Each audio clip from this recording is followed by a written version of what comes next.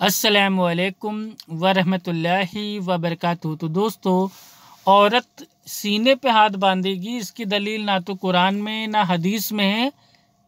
लेकिन फ़िक हनफी से ये मसला साबित है। ये बात आती है दुर्र मुख्तार, उसकी जिल्द नंबर एक, सफ़ा नंबर 226 पे कि औरत सीने पे हाथ बांधे। जबकि अल्लाह के नबी सल्लल्लाहु अलैहि वसल्लम के दौर में अल्लाह के नबी सल्लल्लाहु अलैहि वसल्लम, तमाम सहाबा और तमाम सहाबिया और अल्लाह के नबी सल्लल्लाहु अलैहि वसल्लम की तमाम बीवियाँ, वो भी नमाज़ पढ़ती थीं। और अल्हम्दुलिल्लाह सबके सब नाफ के ऊपर, यानी कि सीने पे अपने हाथों को बांधते थे।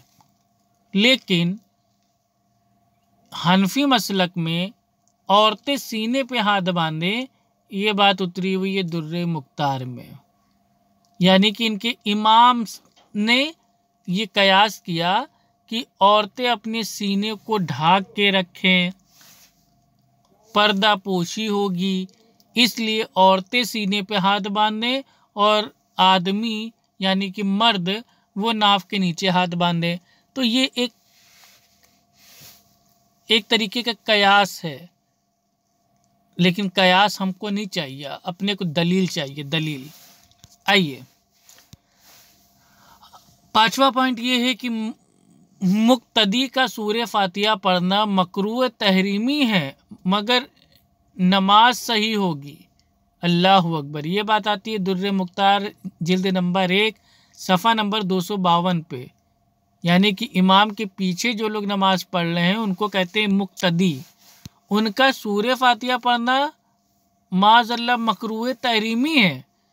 तोबा तोबा तोबा। जबकि अल्लाह के नबी सल्लल्लाहु अलैहि वसल्लम फरमाते हैं, जाम तिरमिज़ी की हदीस है, और हदीस का नंबर है तीन सौ ग्यारह, की उबादा बिन सामित रज़ी अल्लाह तु बयान करते हैं कि हम एक बार अल्लाह के रसूल सल्लल्लाहु अलैहि वसल्लम के साथ सुबह की नमाज़ पढ़ रहे होते हैं, फज्र की, और आप सल्लल्लाहु अलैहि वसल्लम के ऊपर जो कुरान होता है, वो पढ़ना भारी हो जाता है।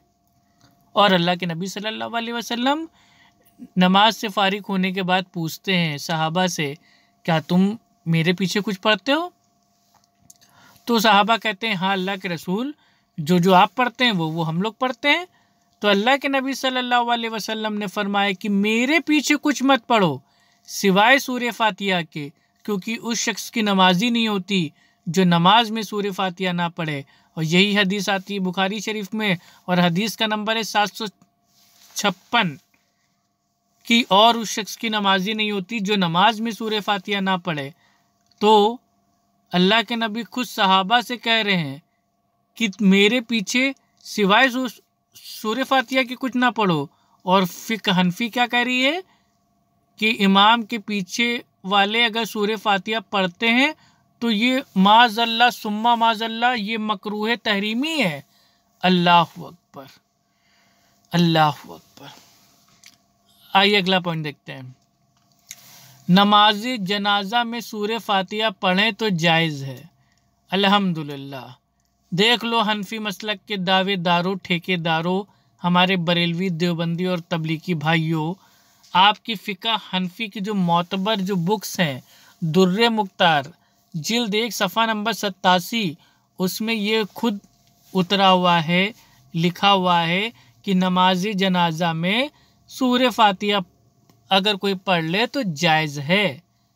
और आपके वहाँ तो सूर्य फातिया नमाज़ जनाजा में होती नहीं है। कोई फातिहा नहीं हो रही आपके वहाँ नमाज़ जनाजा में। उल्टा आप हमसे कहते हैं, मर गया मरदूद, ना फातिया ना दुरूद। ये तो हमें आप लोग से कहना चाहिए कि मर गया मरदूद, ना फातिहा, ना दुरूद।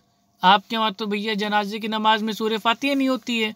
लेकिन अल्हम्दुलिल्लाह हमारा जो अमल है मनज है उसको आपकी फ़िक हनफी ने भी मुहर मार के कह दिया है कि नमाज़ जनाजा में सूर्य फातिहा पढ़ें तो जायज़ है। अल्हम्दुलिल्लाह।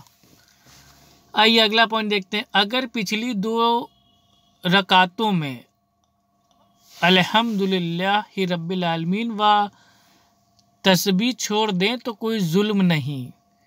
आलमगीरी जिल्द नंबर एक, सफ़ा नंबर 102 तो ये जो फतावा आलमगिरी है, ये भी फ़िक हनफी की मोतबर बुक है, उसमें क्या समझाना चाह रहे हैं?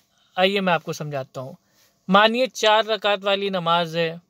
उसमें पहले की जो दो रकातें हैं, उसमें आपने सूर्य फातिया यानी कि अलहमद शरीफ, अल्हम्दुलिल्लाह रबालमीन ये अगर आपने नहीं पढ़ा, या जो तस्बी है सुबहान रब्बिल आला सुबहान अबुल अगर ये सब आपने छोड़ भी दी तो भी कोई हर्ज नहीं है फ़िकानफ़ी के नज़दीक। कोई दिक्कत नहीं है। जबकि नबी सल्लल्लाहु अलैहि वसल्लम फरमा रहे हैं कि जिसने नमाज़ में सूर्य फातिया नहीं पढ़ी, उसकी नमाज़ नहीं होगी।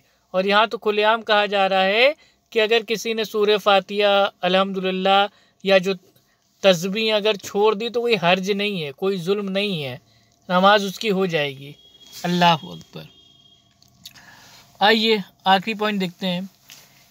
पिछली दो रकातों में बजाय सूर्य फातिया के तीन दफ़ा सुबह अल्लाह कहें तो दुरुस्त है।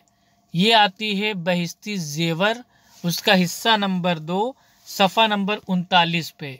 और आप तमाम लोग जानते हैं कि बहिस्ती जेवर मौलाना अशरफ अली थानवी देवबंदी साहब की एक मशहूर और मरूफ एक बुक है।